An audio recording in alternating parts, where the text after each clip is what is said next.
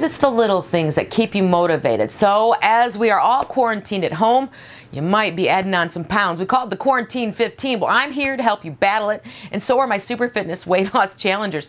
Now, I got to point out one of our challengers, Robin Giles. This is the first time she's been in our weight loss challenge, and I'm so glad she's with us. She posted a picture right on the scale. That's very brave of her to do. And she says she hasn't been this thin in 15 years. Let's hear her story. Robin has served our country overseas in the military. She lost friends while she was serving, and this tragedy propelled her into a deep depression with PTSD. She says she didn't go out in public until she came to our Super Fitness weight loss kickoff in October. And since then, she's lost over 15 pounds and found that sparkling smile again.